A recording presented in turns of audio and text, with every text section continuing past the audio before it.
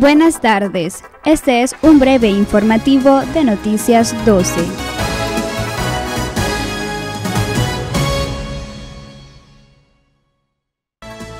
El vicepresidente de Canatur, Carlos Schutz, aclara información sobre formulario de vuelos.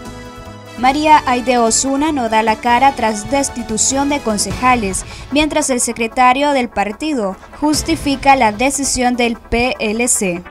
Según vocera y vicepresidente de Nicaragua, Rosario Murillo, trabajadores del Estado tendrán nueve días de vacaciones por festividades patrias.